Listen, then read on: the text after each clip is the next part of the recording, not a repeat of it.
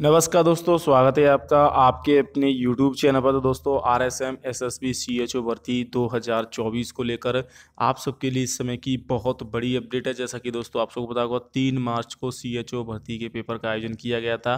तो दोस्तों, इसकी आंसर की को लेकर स्टूडेंट दोस्तों हम बात करेंगे। सी एच ओ का जो पेपर हुआ था दोस्तों, उसमें बानवे हज़ार से ज़्यादा विद्यार्थियों ने रजिस्ट्रेशन कराया था और सत्तर हज़ार विद्यार्थी एग्ज़ाम में शामिल हुए थे। इसके अलावा दोस्तों कट ऑफ़ क्या रहेगी? इसकी दोस्तों 400 अंक का आपका टोटल पेपर था, एक प्रश्न आपका चार अंक का था।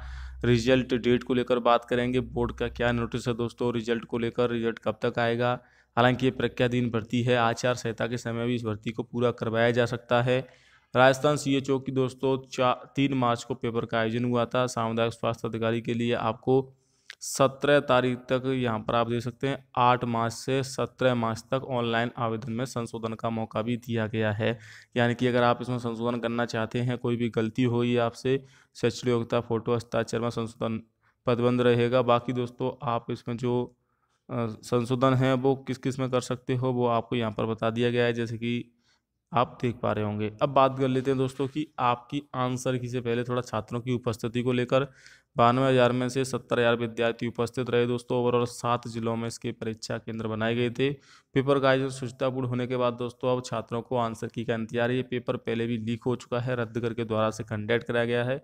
सैंतीस के आसपास पदों पर राजस्थान सीएचओ के पद हैं। तो देखिए, आंसर की क्योंकि आपको पता है तीन मार्च को पेपर हुआ था और अभी अगर आप देखोगे दोस्तों, दस से ग्यारह दिन का समय हो चुका है, इसमें उपस्थिति भी कम थी तो आंसर की इसी सप्ताह में कभी भी जारी हो सकती है। जी हाँ दोस्तों, कभी भी बोर्ड आंसर की जारी कर सकता है, अगर इसमें उपस्थिति की बात करें तो जनरल कैटेगरी की जो कट ऑफ़ है, आपको ये फाइनल कट ऑफ़ है दोस्तों, जो मैं आपको बताने जा रहा हूँ, अगर आप दोगुना कट ऑफ़ क्योंकि दोगुना छात्रों को चुना जाएगा पहले प्रोविजनल रिज़ल्ट में तो इसमें से पाँच से सात नंबर आप कम कर लीजिएगा।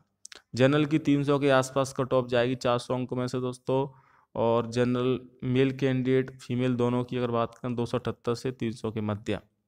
इसी प्रकार से दोस्तों अगर बात की जाए यहाँ पर एससी कैटेगरी की तो एससी कैटेगरी की 223 से दो सौ बासठ के मध्य आपको कट ऑफ़ देखने को मिलेगी मेल और फीमेल की।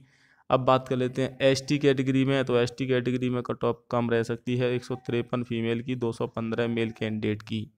वहीं दोस्तों, अगर बात की जाए इसमें ओबीसी कैटेगरी की तो ओबीसी में मेल कैंडिडेट की दो सौ चौहत्तर फीमेल की दो सौ अट्ठावन के आसपास आपको कट ऑफ़ देखने को मिल जाती है। एमबीसी में दो सौ और ई डब्ल्यू की दो सौ बावन, एक सौ चौहत्तर के मध्य कट ऑफ़ रहेगी।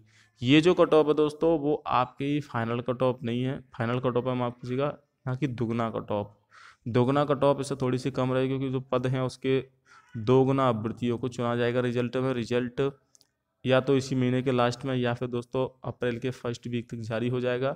बाकी अगर बात करें आंसर की, की तो इसी सप्ताह में कभी भी बोर्ड आंसर की इसकी जारी कर सकता है। तो दोस्तों आशा करता हूँ आपको वीडियो पसंद आई। वीडियो शेयर ज़रूर करें और वीडियो को लाइक भी कर देना। और चैनल से पहली बार जुड़े हैं तो चैनल को सब्सक्राइब करें दोस्तों आंसर की किसी भी समय जारी हो सकती है।